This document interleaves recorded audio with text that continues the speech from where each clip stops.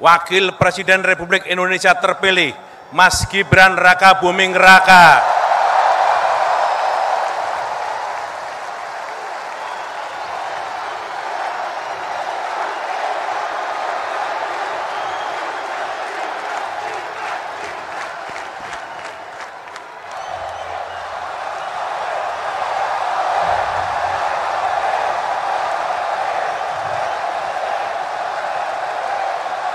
Terima kasih.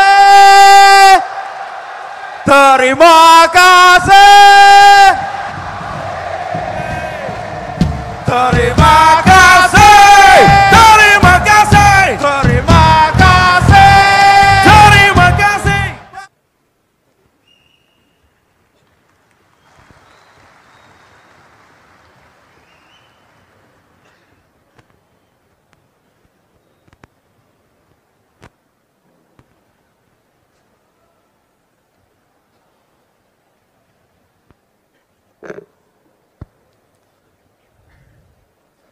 Bismillahirrahmanirrahim. Assalamualaikum warahmatullahi wabarakatuh. Selamat malam dan salam sejahtera untuk kita semuanya. Salam, Om Swastiastu, Nama Budaya, Rahayu. Yang kami hormati dan kami banggakan, serta kami cintai, Presiden Republik Indonesia Insinyur Haji Joko Widodo.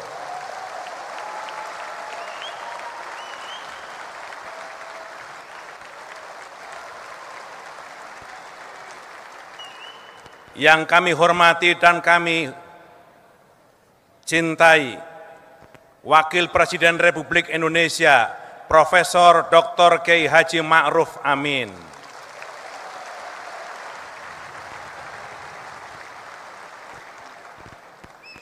Yang kami hormati dan kami banggakan, Ketua Umum, Ketua Dewan Pembina Partai Gerindra, yang juga Presiden terpilih Republik Indonesia tahun 2024.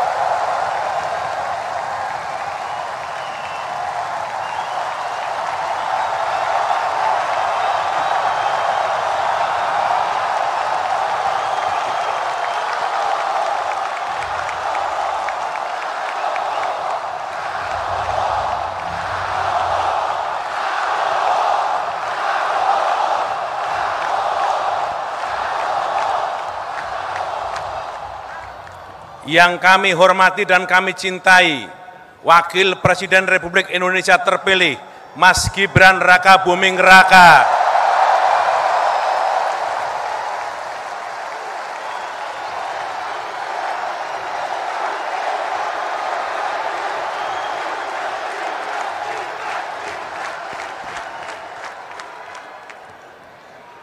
Yang kami hormati, Ketua Majelis Permusyawaratan Republik Indonesia, dan para Wakil Ketua MPR Republik Indonesia. Yang kami hormati, pimpinan Dewan Perwakilan Rakyat Republik Indonesia. Yang kami hormati, para Menteri Indonesia Kerja. Yang kami hormati, para Ketua Umum Dewan Pimpinan Pusat Partai Politik, izinkan kami menyebut satu persatu Ketua Umum Dewan Pimpinan Pusat Partai Nasdem, Bang Surya Paloh.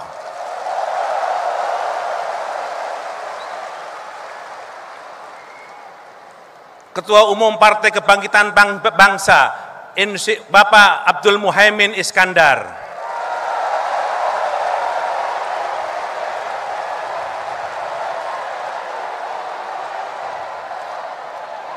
Presiden PKS Ahmad Syekhu. Ketua Umum Partai Persatuan Pembangunan Haji Mardiono.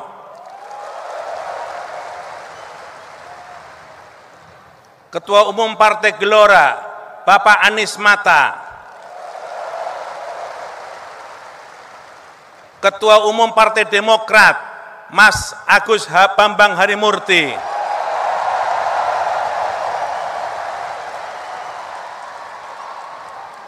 Ketua Umum Partai Amanat Nasional Bang Zulkifli Hasan.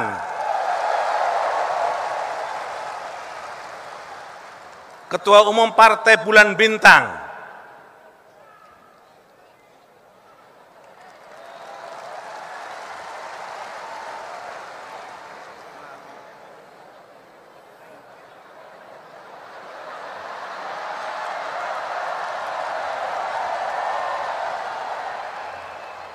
para alim, para ulama, ketua umum Partai Golkar atau yang mewakili,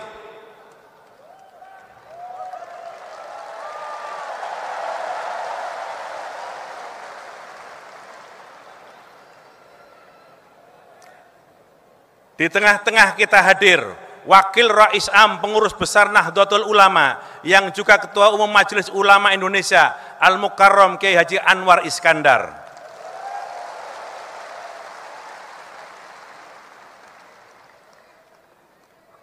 Dengan menyampaikan permohonan maaf, kami tidak menyebut satu persatu para hadirin, para tokoh yang hari ini hadir di tengah-tengah ini. Kami pertama-tama menyampaikan ucapan selamat datang kepada Presiden Republik Indonesia, Wakil Presiden Republik Indonesia dalam rapat apel akbar kader Partai Gerindra hari ini. Apel akbar kader Partai Gerindra kita selenggarakan sebagai bagian dari rangkaian rapat pimpinan nasional yang kita selenggarakan kemarin pada hari Jumat tanggal 30 Agustus di Bogor, yakni di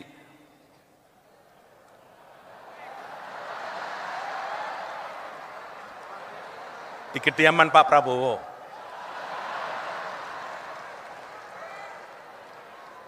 Rapat tersebut dihadiri oleh seluruh pengurus cabang Partai Gerindra tingkat kabupaten, pengurus provinsi tingkat wilayah, pengurus Dewan Pimpinan Pusat, dan fraksi Partai Gerindra.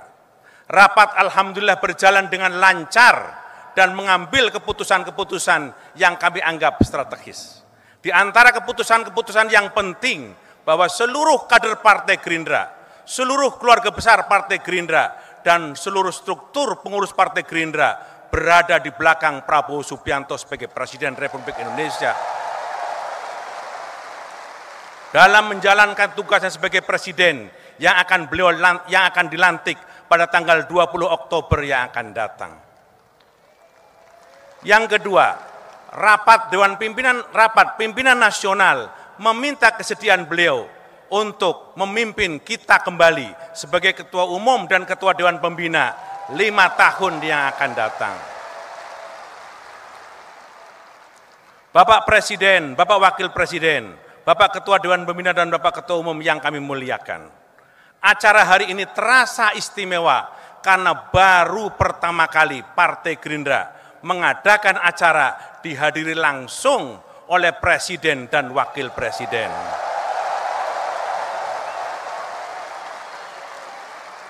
Kami merasa tersanjung, kami merasa terpuji, dan kami merasa bangga. Hari ini Pak Jokowi hadir di tengah-tengah kita, apalagi mengenakan baju putih krem.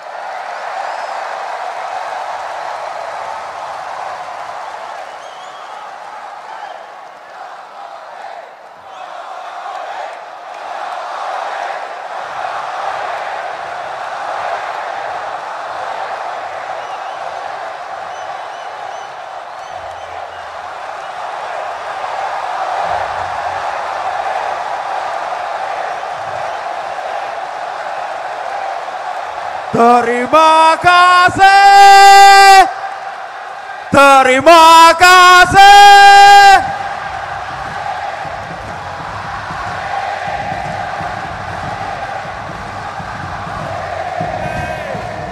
Terima kasih.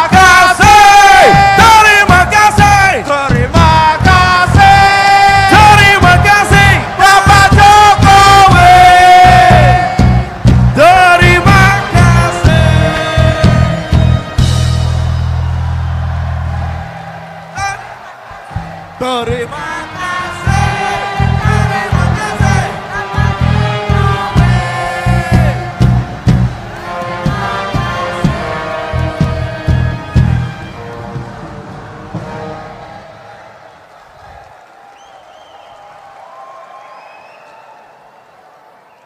Kami semua berharap cinta Pak Jokowi dengan Gerindra dimulai dari baju.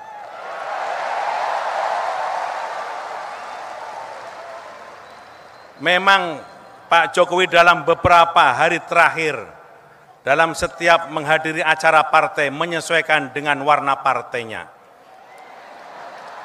Tetapi biasanya cinta terakhir itulah yang akan bersemi di hati beliau.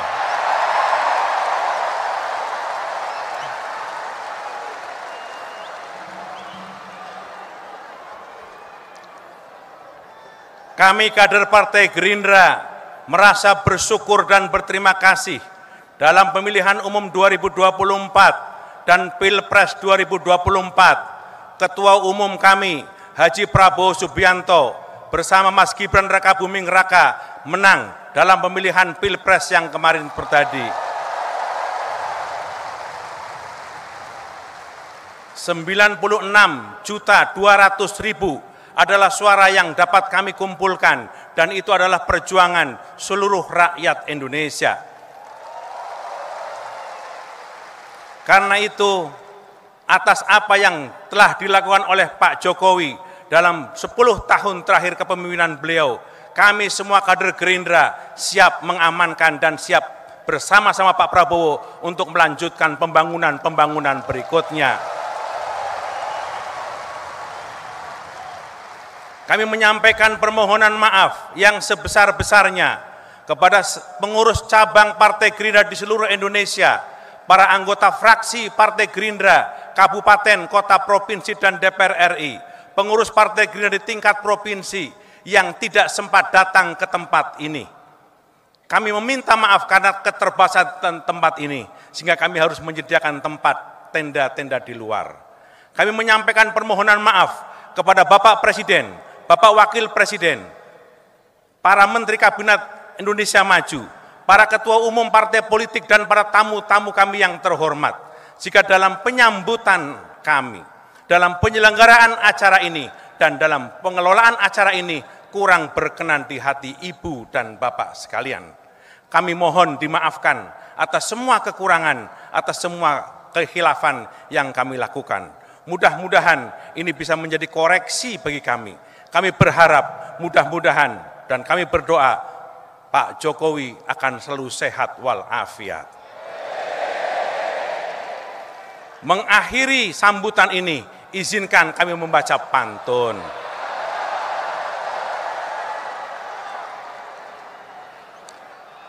Pergi ke Senayan lewat Jalan Kemang. Pulangnya mampir ke kebun binatang Ragunan Pak Jokowi akan selalu kami kenang. Pak Prabowo yang akan melanjutkan pembangunan.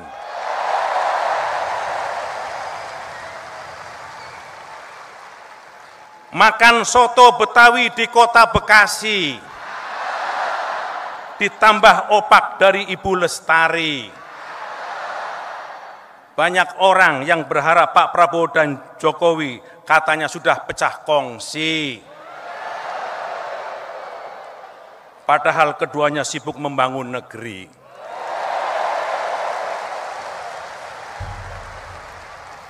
Terima kasih, mohon maaf atas segala kekurangan. Wassalamualaikum warahmatullahi wabarakatuh.